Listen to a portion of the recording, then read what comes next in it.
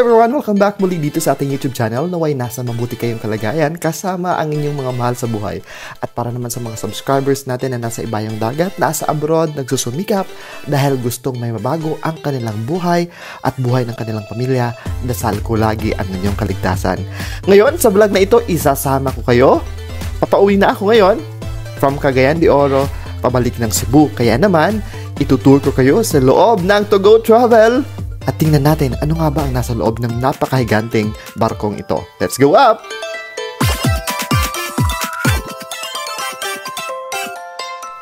At ito ang bubungad sa'yo pagkapasok mo. Napawaw talaga ako. Parang namang 5-star hotel sa ganda ng kanilang lobby, ng kanilang hagdanan going up. At yan na nga, nagsisidatingan na yung mga ibang pasahero. At meron din silang mga shops kung saan makakabili tayo ng mga pasalubong. Meron silang KTV bar, yes, pinuntahan ko yan. At nasa loob ng KTV bar niyan, katabi lang yan, ay ang rooms for the pets kung may dala tayong mga aso. Ito naman ang kanilang salon at talagang mayroon salon operator na gagawa ng anong ipapagawa mo. At mayroon din itong clinic. Yun nga lang, hindi ko binuksan to check kung may doktor or nurse ba. Basta meron silang clinic, merong prayer room kung gusto mong magdasal. At ito ang quick tour natin sa kanilang Quick Mart. Yes, meron din silang convenience store na all throughout sa biyahe ay nakabukas talaga. Lalo na kung nagugutom ka, nauuhaw ka, gusto mong magkape, meron sila. At meron itong dalawang restaurant. Yes, dalawang eleganting restaurant.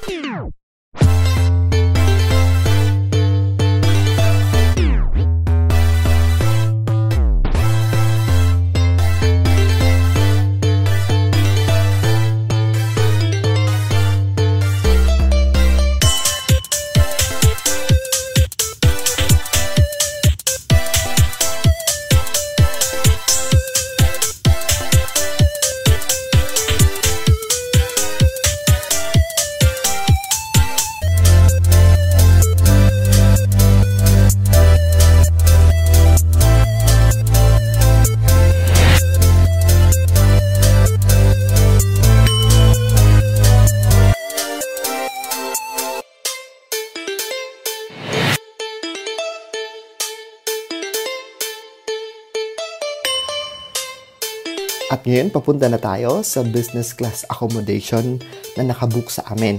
At itutur ko kayo ano ba ang laman ng business class na room kung saan kami magstay for the next 9 hours. Tsadan! Pasensya na po sa mga bag na talagang nakakalat kasi kakapasok pa lang namin. Yan nga, meron itong sariling hugasanan or sink or lavatory. Meron itong dalawang double deck, may couch, yung cabinet na maliliit sa kilid dyan nakalagay ang mga life jacket. Comfortable naman, fully air conditioned siya. May mga outlet for charging. Yes, tama po, may mga outlet for charging.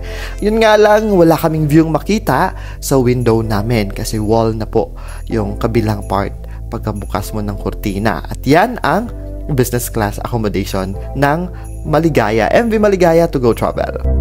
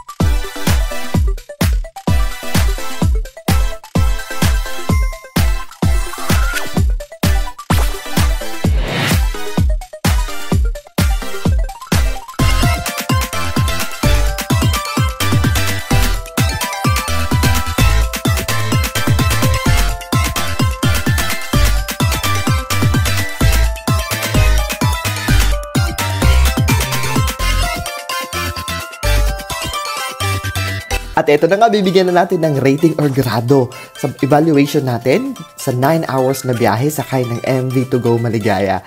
At Reasonable ba? Bibigyan ko sila ng 5 over 5 na rating. Sa so, tingin nyo, tama ba ang binigay ko? O ikaw, ano ba ang to-go experience mo? Until next vlog, ingat always!